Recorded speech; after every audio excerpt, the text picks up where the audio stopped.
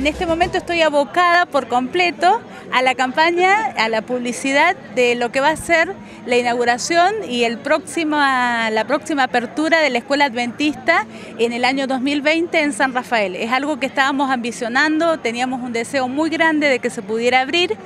y, nos llenamos de alegría y podemos comentarlo con emoción de que ya se está, este, ya está todo listo, ya tiene el sello, la aprobación, resolución de Dirección General de Escuelas, va a ser una escuela este, Dirección General de Escuelas pero de gestión privada, donde vamos a tener todas las materias programáticas, aunque comenzamos con nivel inicial, pero este, con las salitas de 3 y 4 años en la zona este, de la calle Las Vírgenes al 3168 Hemos buscado esa zona porque consideramos que es algo, eh, una zona especial. ¿Por qué? Porque le vamos a poder dar a, las familias y a los niños un espacio donde no van a estar los chicos hacinados en una sala este, pequeña, sino que buscamos eh, salas espaciosas donde puedan recibir la luz solar, porque está eh, hecha, digamos, de la fabricación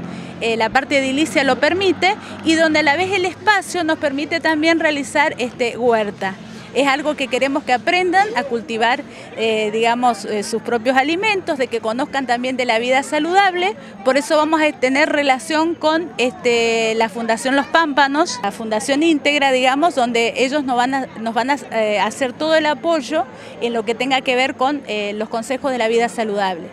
Estamos contentos de ser parte de este proyecto porque digamos que eh, pertenecemos a una red de escuelas que tienen una trayectoria de 138 años a nivel mundial y de 120 años en la Argentina, donde hablas de una escuela adventista y es sinónimo de, este, de contención, de servicio, de valores y de, este, de la confianza en Dios. Nosotros creemos que Dios es el generador de todas estas cosas positivas, del generador de la vida y el que nos dio este, la posibilidad de tener este cuerpo